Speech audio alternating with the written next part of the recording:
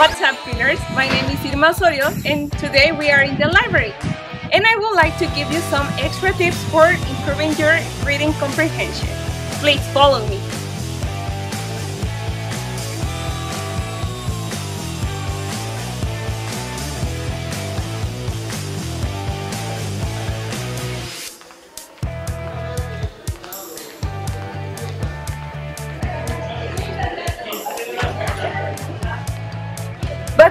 Let me tell you what reading comprehension is.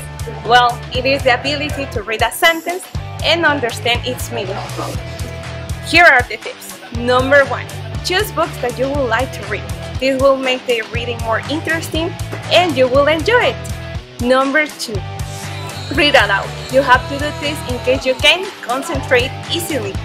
Number three, skim the headings of the text. This will give you an idea what is the text is about.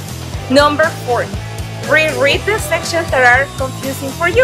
You have to do this at least two or three times. Number five, make notes. This will be helpful if you are doing an, an investigation. Number six, write down the new words that are for you.